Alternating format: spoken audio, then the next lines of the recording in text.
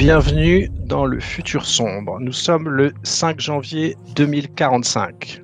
La quatrième guerre corporatiste qui a euh, très très mal tourné. Il y a eu euh, d'abord écologiquement euh, pas mal de soucis. Il y a eu une, bombe nucléaire qui a explosé à Night City, la ville où vous habitez. Et le résultat de cette grande guerre corporatiste, la quatrième guerre corporatiste, c'est que le ciel s'est habillé de rouge et que pendant de nombreuses années, il y avait une espèce dans l'atmosphère une espèce de couleur rouge à travers toute la planète qui est en train de se dissiper mais qu'on continue de voir au lever et au coucher du soleil, où on continue d'avoir cette teinte rouge qui explique le nom de cette époque, de cette ère de cyberpunk.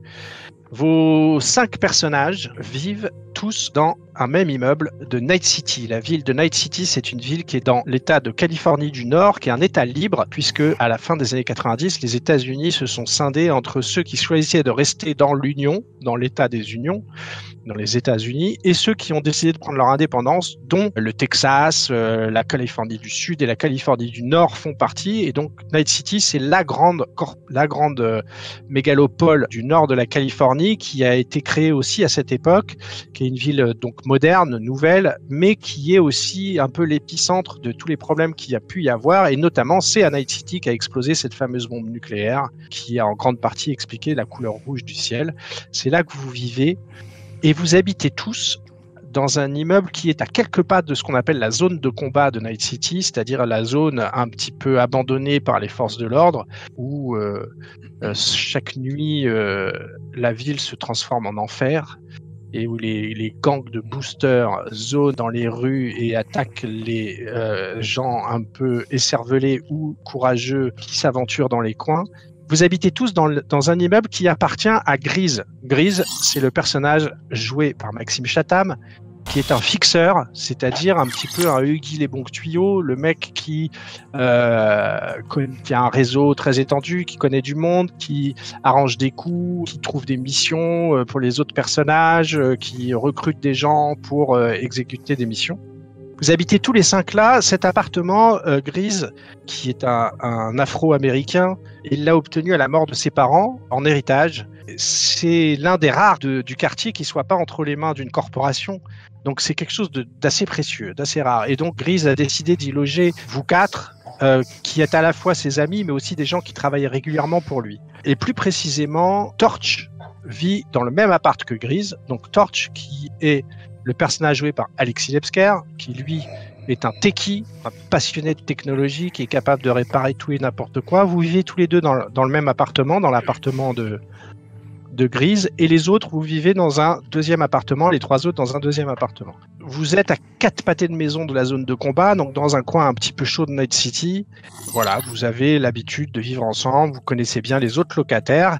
Les locataires, les autres locataires de cet immeuble, c'est une source de revenus euh, qui permettent à notre fixeur Grise de, de joindre les deux bouts. L'avantage, c'est que comme Grise est un fixeur, c'est-à-dire un type qui a du réseau, qui arrange toujours les coups. C'est un immeuble qui est assez tranquille. Les boosters, les gangs de boosters viennent pas souvent vous embêter parce qu'on n'emmerde pas un fixeur. Dans la rue, la tradition veut qu'on n'emmerde pas un fixeur.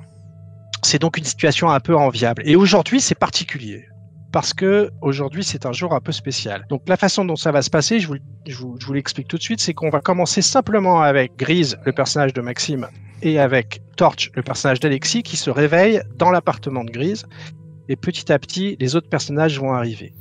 Donc vous vous réveillez euh, ce matin du 5 janvier 2045. Pourquoi c'est un jour particulier? Pour deux raisons. D'abord parce qu'hier soir, le 4 janvier, vous avez vous êtes couché très tard parce que vous avez joué au poker sur le toit de l'immeuble avec Royal. Royal, c'est qui? C'est un des locataires de l'immeuble qui est un solo c'est le seul qui, seul locataire de l'immeuble qui paye pas de loyer parce que, en gros, il, propose à Grise ses services de solo, c'est-à-dire qu'il assure un peu la sécurité de l'immeuble, quoi. C'est-à-dire que quand il y a des emmerdes, Grise sait qu'il peut compter sur Royal et en contrepartie, il paye pas de loyer. Et, hier, et régulièrement, Royal, il organise des parties de poker sur le toit de l'immeuble et vous avez joué très tard hier soir, ce qui était une mauvaise idée parce qu'aujourd'hui c'est l'anniversaire de Tim. Tim Hendrix, c'est l'un de vos copains, c'est le netrunner qui est joué par Fabrice Maza. Et vous savez que ce midi, vous avez rendez-vous à de l'Atlantis, qui est la boîte de nuit, euh, une boîte de nuit du quartier, pour aller boire un coup pour l'anniversaire de Tim. Alors, ce qu'on va faire tout de suite, c'est quand même que je vais vous montrer la ville de Night City. En gros, votre appartement, vous voyez le numéro 11 sur la carte qui est dans The Glen. Euh, vous êtes deux blocs à droite de ça, dans le petit carré qui est vraiment juste au-dessus de la zone de combat, c'est-à-dire la zone qui est rouge dans la carte. Vous êtes à la limite du rouge. Et l'Atlantis, c'est le numéro 4 une célèbre boîte de nuit de Night City euh, qui euh, le midi est plus calme et dans laquelle vous avez rendez-vous pour l'anniversaire de Tim. Donc là, il est à peu près 11h30, euh, midi, pas loin d'être midi, et vous vous réveillez seulement maintenant un petit peu en retard tous les deux, c'est-à-dire qu'il y a Grise qui se réveille et qui dit Putain, Torch, il est déjà 11h30, on a rendez-vous pour l'anniversaire. Mais en réalité, pourquoi il est réveillé, Grise? T'es pas réveillé naturellement, t'es réveillé par une pub qui s'affiche automatiquement sur le grand écran de ton appartement parce que t'as un deal sur la connexion euh, avec le câble qui est que tu es obligé de voir des pubs régulièrement qui s'affichent avec le son à fond chez toi. Et cette pub, je vous la montre tout de suite. In 2001, WorldSat Communication Network architecture net. Over the years, WorldSat has acquired the monopoly on large-scale satellite communications and is responsible for the transmission of phone, military, computer and commercial data. These communications are crucial worldwide, for you and for your company. Based in Paris, WorldSat is one of the largest corporations Europe has to offer. WorldSat. The net is our legacy. Voilà, donc c'est des publicités que tu as l'habitude de voir. WorldSat, c'est une compagnie que vous connaissez tous parce que c'est eux qui ont créé le net à l'époque où il existait. Le net n'existe plus en 2045, il a été ah, entièrement détruit. Donc en 2045, euh, le net n'existe plus en tant que tel et il n'existe plus que des micro-réseaux qui sont à l'échelle municipale mais il n'y a plus de net, de worldwide net, c'est-à-dire qui couvre toute la planète. Il a été entièrement détruit par un terroriste netrunner qui s'appelle Raj Basmos, qui, au cas où il mourait, avait déclenché un virus qui a complètement détruit le net. Et donc WorldSat, c'est la grande corporation européenne qui a créé le net à l'époque et qui aujourd'hui continue d'être une grande corporation, mais n'a plus le net. Donc tu as l'habitude d'être réveillé par ce genre de publicité. Autant te dire que dès que ça s'affiche, je me réveille, je, fais un bond sur le canapé où je m'étais endormi et je vois que c'est ça et instinctivement je, tâtonne jusqu'à trouver le, le, paquet euh, cartonné de nouilles chinoises de la veille et je le prends, je le balance sur l'écran holographique. Euh. en, en, en un truc à la con du style euh, foutu corporation de merde. Donc t'es es dans cette humeur là quand tu te rends compte que vous êtes un peu à la bourre pour aller à l'Atlantis et que en plus avant d'y aller, il faut que tu ailles récupérer le loyer de la semaine. Il faut savoir que les locataires te payent une fois par semaine et il y a deux des locataires qui t'ont pas payé. Le loyer de la semaine, c'est 350 euros dollars, puisque la monnaie internationale, c'est l'euro dollar. La première locatrice, c'est Gina Zepada. Gina, euh, écoute, tu l'aimes bien. Euh, c'est une, une, jeune femme qui adore les animaux. Ça, c'est un peu saoulant parce qu'il y a souvent du bruit chez elle. Il y a plein d'animaux. Cela dit, c'est assez exceptionnel parce que c'est des vrais animaux, c'est pas des animaux cybernétiques et ça c'est très rare. Par exemple, il y a son perroquet Rico, qui est un perroquet euh, avec une huppe euh, saumon, et il y a Flick Flock, sa tortue géante. Il y a Boo, son caméléon, et ce sont euh, pour elle, c'est des, compagnons de vie. C'est une femme qui appartenait autrefois à ce qu'on appelle un éco-gang. Vous savez, c'est les gangs un peu des, des éco-terroristes, quoi. C'est-à-dire des gangs qui sont à fond pour la défense de la nature et des animaux. Elle appartenait à Action Brahma, qui est un éco-gang assez connu, un groupe pro-environnemental qui, mène des actions directes pour combattre les corporations et, tout le mal que ça peut faire à la planète. Et maintenant, elle est un peu obligée de se, cacher parce qu'elle s'est fait prendre plusieurs fois sur des actions euh, éco-terroristes. Et en plus, il y a la grande corporation Biotechnica qui rêve de mettre la main sur elle parce que deux de ces animaux sont des animaux très rares que Biotechnica, euh, une grande corporation, aimerait récupérer pour les cloner. Et le Me- deuxième euh, locataire euh, dont il faut que tu récupères le loyer, euh, c'est le docteur Carver. Alors, George Carver, lui, ça fait pas longtemps qu'il est dans l'immeuble. Euh, c'est un ce qu'on appelle un Reaper Doc, c'est-à-dire, vous savez, c'est des médecins qui sont pas vraiment des médecins, mais qui, qui sont un peu des médecins clandestins, qui travaillent plutôt sur la cybernétique, mais aussi sur la santé en général. Et lui, c'est la nuit, il travaille pour le, la Trauma Team, qui est euh, la corporation médicale que vous connaissez tous euh, dans l'univers de Cyberpunk. Et de temps en temps, pour arrondir ses fins de mois, dans l'appartement qu'il te loue, euh, il se livre à son activité médicale. Donc les deux sont dans l'immeuble. Je te montre où. La première, elle est ici, et le docteur, Ok. il est dans le deuxième appart qui Je, est ici. ok. Je me lève, je me fous devant, euh, devant Torche qui doit encore dormir. Je mets un coup Il est dans. torché. Il est torché, torche. Ouais, voilà. Je mets un coup dans son fauteuil pour le réveiller. Ah, Et à ce Tapine, tapine, mets- c'est payé, c'est fait quoi hein Et, et juste Oh, avant de, de- de mettre un coup, quand même, j'enclenche mon, euh, euh, mon synthétiseur vocal et je lui dis Police, vous êtes en état d'arrestation. Qu'est-ce qui se passe On a. Oh putain, t'es con, Grise. ça va pas de faire ça. J'ai une- un mal de crâne de dingue. Oh putain, on s'est couché à quelle heure C'est l'anniversaire de Tim. Dans deux heures, on est à la bourre. Oh non, dis pas ça. J'ai deux Il manque à 48 heures de sommeil là.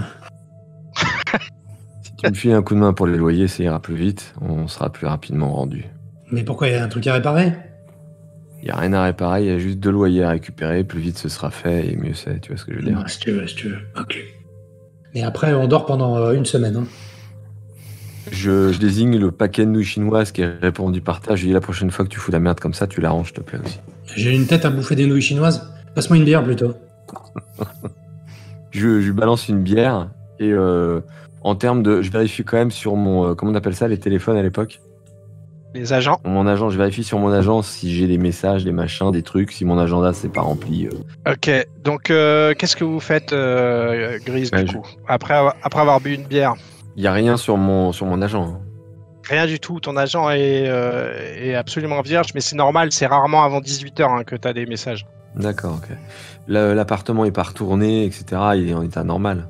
Il n'y a pas eu de, de- des absences mentales dans la nuit suite à ce qu'on a à notre devis. Alors, au contraire, il est retourné donc en état normal. Ok, ça, va, ça. Bon, euh, on n'a pas trop de temps à perdre ce matin. euh, tu vois, euh, on, va dire que l'hygiène et les ablutions matinales, ça attendra 15-16 heures, qu'il soit une heure normale, qu'il soit au moins 3 heures du matin, enfin 15 heures du matin tout à l'heure. Donc, j'ai mon équipement standard du quotidien, mais rien de particulier. Et euh, je fais signe à, à, à- à- à Torch euh, s'il est, euh, s'il est paré, qu'on aille frapper ouais, aux portes je- vite fait, histoire de- trois jours, donc c'est bon. voilà. Euh, juste pour info, l'historique de Gina et du Doc Carver font que ils payent, c'est des bons payeurs, il n'y a pas besoin de les faire chier, d'insister, d'impressionner, quoi que ce soit. C'est des bons payeurs, c'est des gens avec qui tu t'entends bien. Euh, t'as parfois des. Euh, tu trouves que Gina, ça fait un peu trop de bruit, ses animaux. Et le doc, euh, c'est saoulant quand il y a des, des mecs qui arrivent en sang à 4 heures du matin euh, pour venir se faire soigner. Mais globalement, c'est des gens avec qui tu t'entends bien, ouais. Ok, ça marche. Bon, on va frapper à l'appartement de Gina pour commencer.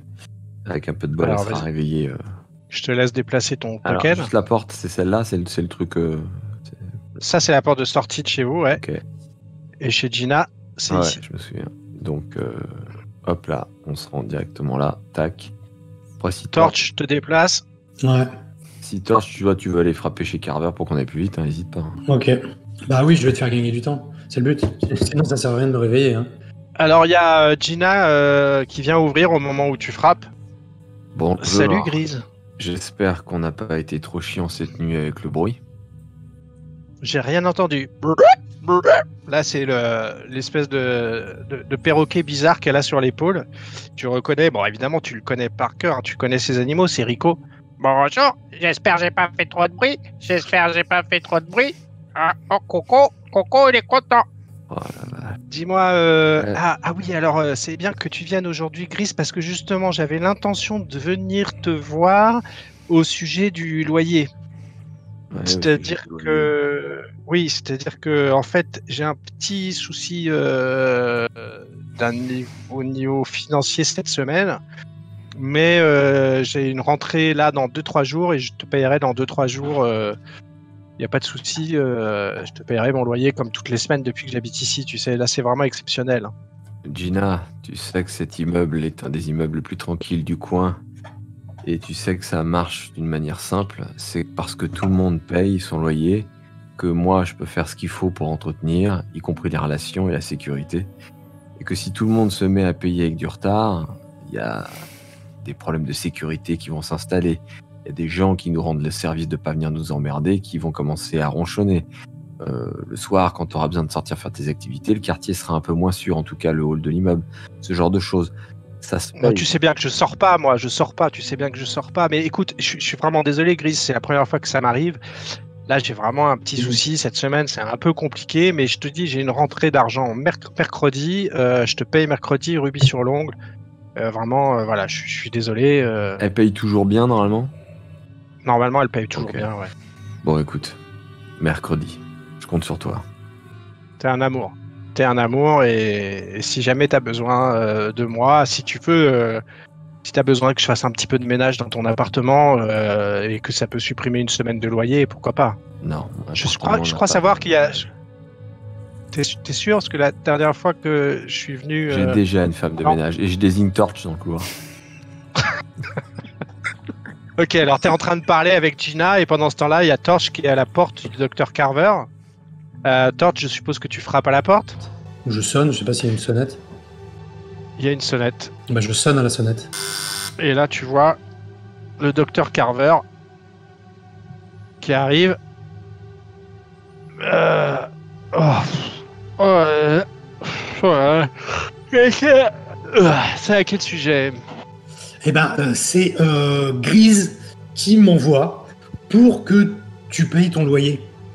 Et ouais, pour, euh, pour, pour le loyer. Ouais, mec. Oh là là. Eh ouais, mec. Oh oui. Oh là là. Euh, euh, ok, c'est. Euh, C'est pour ton Euh, putain de loyer. Ouais. mais euh, euh, alors, il est là, euh, Grise? Ben, s'il était là, euh, je serais pas là. Ouais. Et moi, je dormirais encore. Alors, C'est moi alors, euh, qui l'a envoyé pour chaud. Putain de loyer, mec.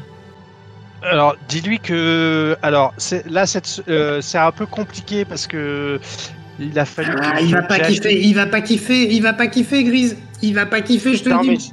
Moi, je m'en bats les couilles. Je m'en bats les couilles, c'est pas mon argent. Mais moi, je te dis, Grise, il va pas kiffer. Il va pas kiffer. Alors, de, Et un fixeur qui kiffe pas, c'est pas bon. C'est pas bon du tout. C'est pas bon, mec. Est-ce que. je- Alors, est-ce que bon je peux le payer en. Il va pas kiffer, il va pas kiffer. Il va pas kiffer. Si, Je le connais par cœur, j'habite avec lui, il va pas kiffer. demande-lui si je peux le payer en nature, genre euh, avec un, un bras. J'ai un bras cybernétique qui, a- qui est arrivé, qui est nickel, Montre. qui est- que j'irai. Attends, attends, attends, attends, attends. Là, on parle sérieusement. Là. Là, il, On parle là, il te un- il te montre un bras, un, un bras cybernétique avec des, des, des, des griffes au bout et tout. Le truc, il est nickel. Il y a du sang dessus. C'est vrai qu'il y a du sang dessus, Mhm. mais il est neuf. J'ai récupéré ça hier soir. euh, bon, il y a eu un petit accident. euh, j'ai là cette semaine, c'est un peu Je veux pas le savoir, c'est bien.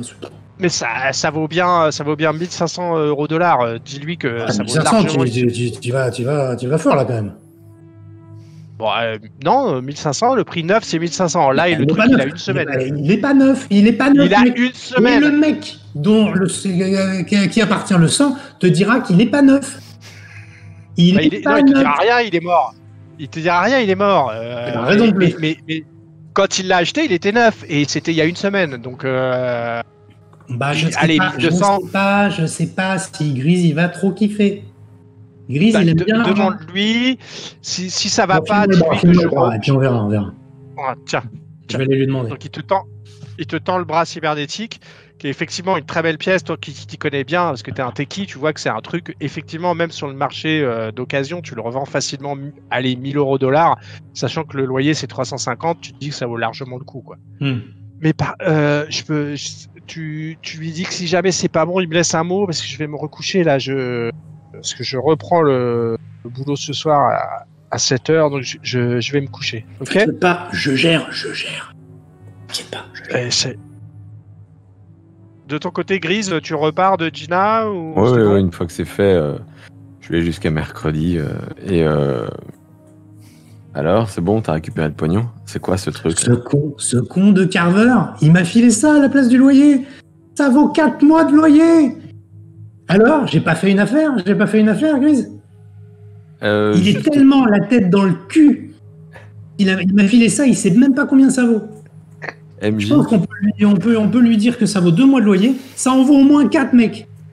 MJ, sur ce genre de, Ouais. de matos, il y a un numéro de série, une puce qui permet de le localiser, ce genre de truc ou pas? Oui.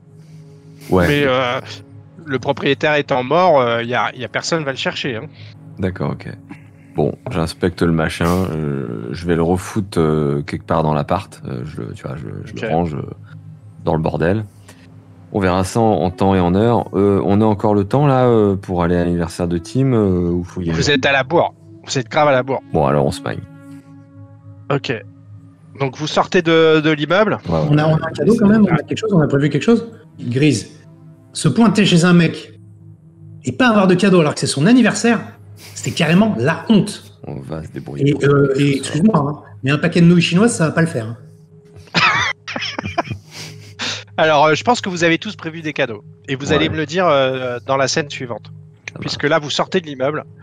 Vous arrivez dans la rue, vous êtes dans votre quartier, euh, voilà, vous traversez un peu le quartier pour vous rendre à l'Atlantis. Vous passez à côté des bodegas, c'est ces petites boutiques où on vend un peu tout et n'importe quoi. C'est les bazars de 2045. euh, Dans le ciel, régulièrement, il y a des AV4, euh, les aérodynes, les, les, les, les, les- les voitures volantes de la police qui passent.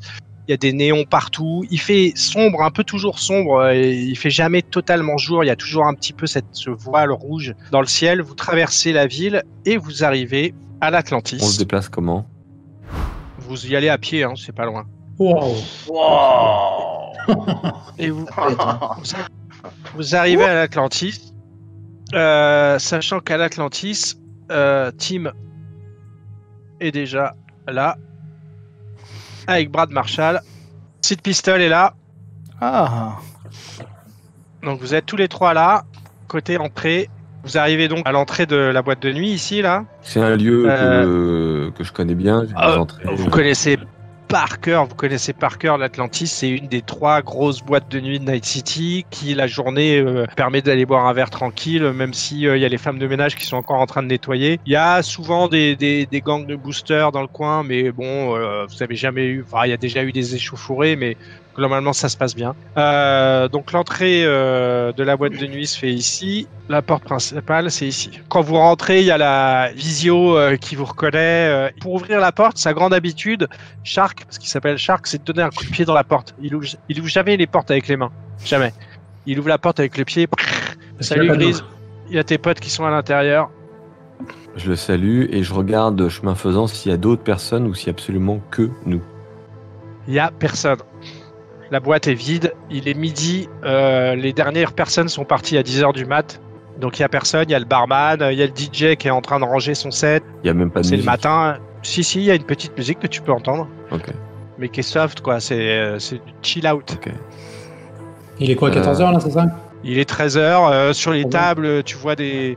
Tu vois des traces blanches, euh, des traînées de poudre blanche sur les tables. Tu reconnais tout de suite de la coke synthétique. Tu vois que euh, c'est pas encore tout à fait nettoyé. Il y a des, bouteilles par terre. Voilà, il y a une odeur de sueur, euh, de folie. Tu sais qu'hier soir, il y a eu une soirée, comme tous les soirs, un, un peu de la folie. Et quand tu arrives à la table, tu vois que Tim Hendrix est là, dont c'est l'anniversaire. Tim Cyberpunk, joué par Fabrice Maza. Bon anniversaire, Fabrice. Enfin, Tim. Tu vois qu'il y a Sid Pistol qui est là, qui est joué par Ben. Sid Pistol, c'est un peu euh, la rockstar de, de- du quartier. euh, qui a, joué dans un, groupe de rock qui a eu deux trois succès. Et même s'il est plus au top en ce moment, euh, peut-être qu'un jour le succès reviendra. Et puis il y a Brad Marshall, un solo, un warrior qui est joué par Nicolas Lebel. Donc vous vous retrouvez tous les cinq à la table et je vous laisse faire vos retrouvailles. Question, Sid Pistol, il est de cette mouvance des rockers un peu contestataires, un peu anti-système et qui peut attirer le regard des, euh, des corpos, enfin des, euh, des, des institutions ou pas du tout, il est vraiment dans la musique? Bah, on va dire, en fait, tu clairement, suis- je j'ai été dans des groupes un peu craignos euh, pour les bien-pensants. Euh, ouais, je suis plutôt. moi, je considère que je fais du punk lyrique, euh, mais vous avez déjà assisté à certains de mes concerts et, c'est vraiment euh, anti, anti tout. Voilà. Et d'ailleurs, quand tu arrives, je, je t'accueille. J'ai les deux bras le long du fauteuil. et Je t'accueille avec la tête retournée et je fais regardez qui voilà. Vous avez réussi à vous réveiller? Ouais, bah, c'était, c'était pas facile et il a fallu bosser dès le matin. Merci, Grise. hein. Merci, Grise. Je salue Tim et euh, je lui donne une accolade fraternelle et conviviale en lui souhaitant un bon anniversaire. Ouais, je dépose sur la table euh, le cadeau, euh, probablement une console, euh, une, une Game Boy, euh, un espèce de truc euh, euh, que j'ai Vintage. trouvé ouais, chez un brocanteur antique, enfin un antiquaire, un truc euh, hyper galère. Et idéalement, elle, elle marche, a même un jeu dedans, tu vois. Oh putain. Bah, mon- Merci Grise, j'ouvre mon cadeau et je vois la, la console et là, euh, et là je fais putain mec, où c'est que t'as trouvé ça? Je peux te dire que celui-ci, je l'ai cherché. Ah ouais, t'as dû galérer mon gars, bah, merci beaucoup. Et vous êtes à la bourre les mecs Ouais, bah, euh, Pourquoi excuse-moi, Qui il a fallu euh, faire de la midi? Bah, on a pris un peu d'avance, hein, et là je vous montre la table. Il y a quelques cadavres de bière, euh, quelques. On Ouais. reprend la même chose euh, en double. Et vous êtes en train de discuter, vous échangez les cadeaux. euh, Et là, il y a une nana qui arrive, qui est rentrée dans la boîte, On la qui s'approche euh, de cette table et vous avez, dé- vous avez déjà vu sa gueule, mais surtout, vous voyez que Sid Pistol blanchit. Et Sid, tu reconnais euh, Stéphanie. Stéphanie, c'est une On groupie que tu t'es tapé pendant une semaine et tu lui as donné une fausse adresse pour ton agent et euh, elle a jamais réussi à te recontacter. Alors quand là, je la vois, rentre. moi je commence à m'enfoncer dans le fauteuil comme ça, et je fais les gars, je suis pas là. Je suis pas là. Je suis pas là. Je suis pas là. Sid Ah. Sid Je crois que Et tu là, elle, ch- elle cherche autour d'elle et vous voyez qu'elle elle, elle trouve sur la table, elle trouve un, un verre de gin tonic d'hier soir, elle le prend et elle te le jette à la gueule. Ah Elle te le jette, elle te jette ça de gin tonic à la gueule. T'es vraiment un salaud Tu m'as donné une fausse adresse et Quoi Tu m'as sauté, tout ce que tu voulais c'était mon cul, c'est ça? Attends, attends, attends, attends. Tu voulais mon cul. bien. Moi, moi j'ai fait que accepter. Euh, Mina, attends, c'est quoi déjà ton prénom? C'est ça, c'est Mina. Stéphanie, connard Ah putain, oui, pardon. euh, le... Mais ce que je voulais te dire, c'est que. euh, Ah, tu sais, je bouge beaucoup, c'est ça. Mais, par... mais euh, tu veux un verre? Tu bouges beaucoup. Tu m'as dit que tu voulais me faire un enfant. Tu m'as dit que tu voulais me marier. Tu m'as dit que tu voulais m'emmener euh, en Europe, que j'allais enfin voir Paris. Oui, parce que T'es j'a- foutu j'a- de ma gueule. j'adorerais visiter Paris, mais tu sais, la situation là. tu- Ce que je propose, c'est que je t'appelle. Je t'appelle demain. Tu continues à me prendre pour une conne. Tu continues à me prendre pour une conne alors que moi, euh, j'étais prêt à, à sacrifier ma vie pour toi. J'ai, je suis fan de, de tout ce que tu as fait, mais artistiquement, tu es tellement nettement au-dessus de ce que tu es humainement. Humainement, tu qu'une sous-merde. Je, je vais me mettre à son niveau et, euh, et je lui mets la main dans le dos, un peu pour l'inviter à une forme de, de, de confidence et à l'écarter euh, petit à petit de- de- du canapé avec euh, mes camarades. Ah, Et à voix basse, je, lui- je lui dis euh, Écoutez, je suis désolé, mais je vais être très franc, vous n'êtes pas la première à faire ce genre de remarques. Il est coutumier du fait, vous n'avez aucun espoir, rien à espérer de lui. Je ne peux vous donner qu'un bon conseil, c'est de l'oublier très rapidement. Et j'en suis désolé, croyez-moi. En l'accompagnant presque un peu de force physiquement vers. euh, Tu reçois euh, ce message sur ton agent.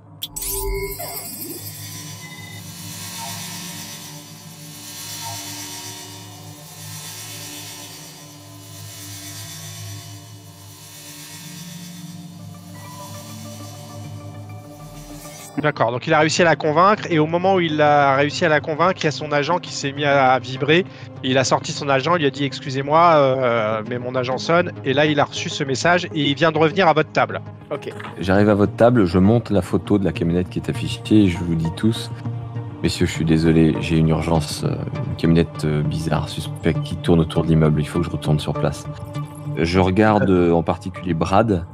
Je suis désolé, c'est peut-être pas le moment, Tim, mais est-ce que, est-ce que je peux vous demander un coup de main au cas où? Évidemment. Mais on bien prend une bière et puis on y va. On l'a déjà vu cette camionnette, euh, Henri? Non, ça vous dit rien. Ça Enfin, rien de particulier, quoi. C'est une camionnette. Mais pour alors euh, juste, juste pourquoi elle nous paraît suspecte? Elle vous paraît pas suspecte, mais par contre, le message de Royal vous paraît suspect. Ouais. Moi, je, je me lève, je vais vers euh, Grise, je lui mets la main sur l'épaule, je lui fais. Après ce que tu viens de faire avec Mira, il y a zéro souci, bien sûr que je te file un coup de main. Mira? On y va. C'est pas ça Et pendant que vous êtes en train de rigoler, je vous regarde, vous passez tous autour de moi. Quoi C'est pas comme ça son prénom En marchant, je, m'a- je, je me mets à côté de Tim et je te dis, euh, je suis vraiment désolé, c'est pas le moment, mais je te promets que je te revaudrai ça. Je vais t'organiser une soirée dont, te- dont tu te souviendras pour ton anniversaire. Ok, mec, on vient avec toi, vas-y. Donc Y a rien de grave, sortez, j'espère. J'espère pas, mais euh, Royal est pas du genre à s'inquiéter pour rien. J'aime pas trop ça. Vous sortez de la boîte de nuit, vous traversez le quartier et jusqu'à ce que vous arriviez dans, dans votre rue. Et l'angle de votre immeuble, en effet, vous apercevez une camionnette. Et à côté de cette camionnette, de très loin, vous n'avez pas besoin d'être prêt pour le savoir. Vous savez tout de suite que c'est des agents de, Militech, que c'est de la sécurité privée, c'est des mercenaires de chez Militech, qui est une grosse corporation de sécurité que vous connaissez par cœur, qui est là avec Arasaka. C'est les deux grandes corporations qui se sont d'ailleurs longtemps fait la guerre. Vous reconnaissez tout de suite euh, les couleurs de Militech. Et ces deux hommes euh, encadrent un type, un jeune homme roux, euh, qui lui a vraiment tous les attributs du corporatiste. Et lui, vous voyez qu'il est devant un trépied et il a l'air de prendre des mesures. Il regarde votre immeuble, il regarde l'immeuble de Grise. Il, a l'air, on dirait un peu un géomètre, mais habillé en corporatiste avec des fringues assez classes. Et il a l'air de prendre des mesures, il a l'air de régler des caméras, de voilà. Ok, question, est-ce qu'il y a un logo sur le mec, sur la camionnette, un truc euh, qui Aucun. permettrait de l'identifier, lui en particulier? Ok. En revanche, il y en a sur les deux mecs qui effectivement sont bien de Militech. Faites attention à là où vous déplacez vos tokens. Je considère que vous faites vraiment, vos personnages font vraiment ça. Étant donné que je suis tech, est-ce que je sais à quoi ça correspond son matos de mesure là? C'est du matériel de Géomède de 2045, ouais. Moi, en fait, l'idée, c'est de m'approcher au plus près, et en m'approchant, bien sûr, pas au dernier moment, je lève la main dans sa direction à lui, j'ignore les deux lascars, même si je garde un œil dessus pour euh, au cas où, s'ils réagissent un peu trop promptement, et, euh, mon idée, c'est de l'interpeller, euh, en disant, je peux vous aider? Ok. Alors, au moment où tu t'approches et où tu t'es sur le point de l'interpeller, t'as un des deux agents qui s'approche de toi et tu vois qu'ils ils ont les fusils d'assaut aux mains. Il s'approche de toi, il fait pap, pap, pap, écartez-vous là. Dégage. Allez, dégagez. Dégagez. Hop, hop, hop, on dégage. Je fais un, je fais un pas de côté pour, euh, pour essayer de, de rapaiser la situation, mais je m'adresse au blond, j'ignore ce gars-là, et au, au, au corpo, je dis, je peux vous aider, c'est quoi le problème avec cet immeuble? Là, il y a le l'agent de sécurité de Militech qui se rapproche, qui fait Je t'ai je dit de dégager là. Qu'est-ce que t'as pas compris dans Je t'ai dit de dégager? C'est quoi C'est quel mot que t'as pas compris? C'est dégager? Je le regarde droit dans Tu les yeux. je- Non, tu je fais un- dégages. Je Tu fais un pas dégages. de côté et je regarde l'autre, je fais si vous voulez parler au propriétaire, il est devant vous. On n'a rien à foutre. Tu n'as rien à dire, tu dégages. Je t'ai demandé de dégager, tu dégages. On, peut- on- on a- on arrive à contacter Royal là ou pas? Je peux le contacter moi Ouais. Ouais, ouais, je le contacte. Tu essaies de contacter Royal il te, et là, au moment où tu lui envoies un message, il y a une réponse automatique avec marqué Je suis en mission, laissez-moi un message, je vous recontacte dès que possible. D'accord, bah, je lui laisse comme message, euh, c'est, euh, Royal, tu nous as contacté là, tu nous en- il y, y a une camionnette là, qu'est-ce qui se passe? Est-ce que tu en sais un peu plus? Ok. Moi, ce que je fais, c'est je, je compte euh, faire le tour de la bagnole, prendre des photos avec mon agent, essayer de regarder euh, à l'intérieur. Bref, je, je veux faire le tour.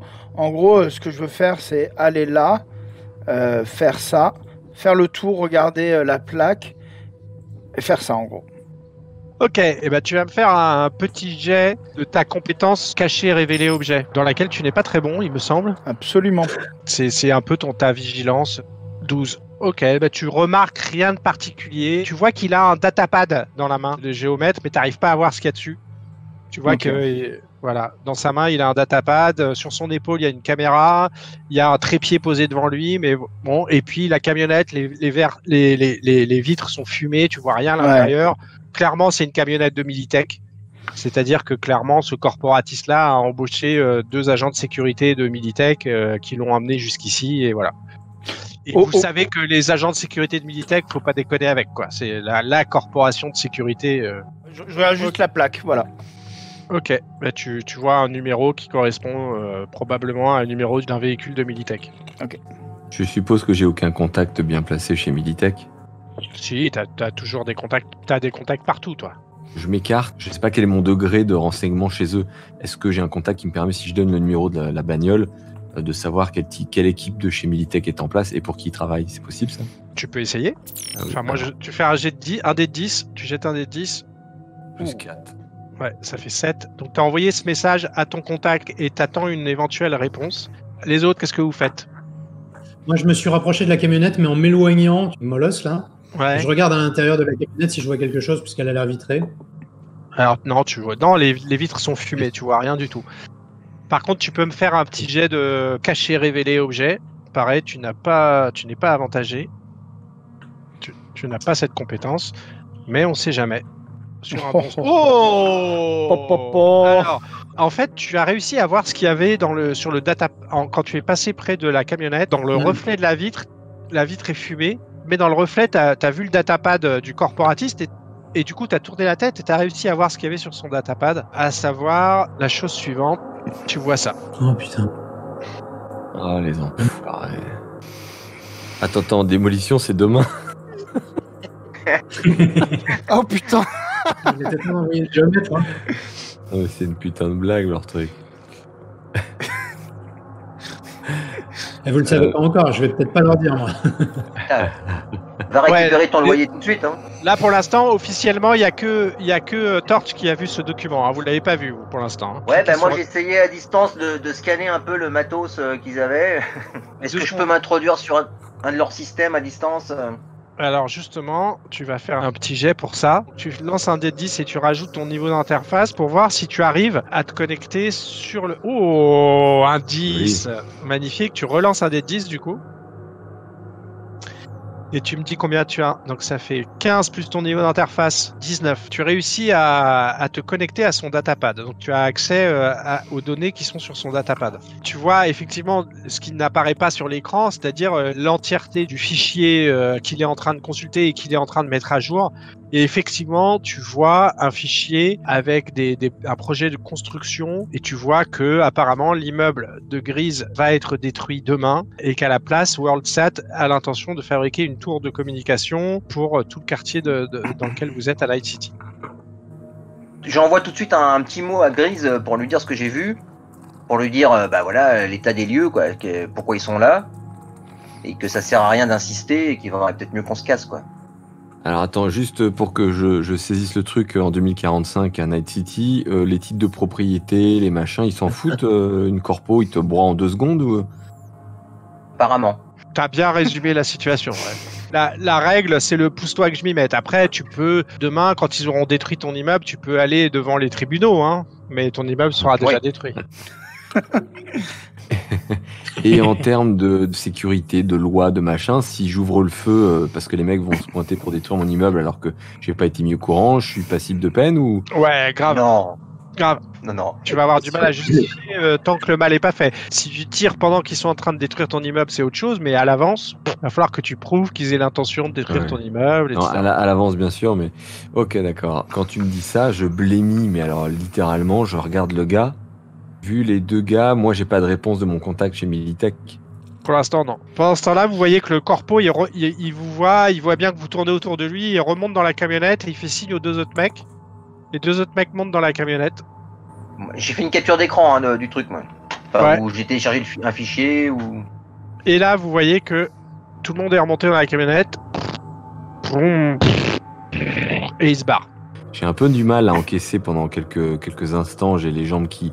Tu vois, c'est tout ce qui me reste de ma vie, de ma famille. C'est c'est chez moi, c'est euh, c'est mon- mon monde, quoi, qui. euh, Enfin, broyé en. en- Qu'est-ce qui se passe, Grise. Eh les gars, vous c'est quoi cette gueule que vous tirez là? Ces enfoirés veulent détruire. trouver des armes pour les accueillir demain. Quoi? Détruire l'immeuble? Eh Grise, tu nous, tu nous accueilles chez toi là, on va en discuter là-haut. Je voudrais d'abord parler à Royal. Il est pas là, il est en mission royale. Il répond même pas aux appels de, de Tim. il est même en off-com, euh, il, a, il a même, il est pas joignable quoi. C'est-à-dire quand il est sur ce type de mission, euh, c'est probablement une Black Op. Son agent, il est coupé. On remonte dans mon appart. Et quand vous arrivez en haut,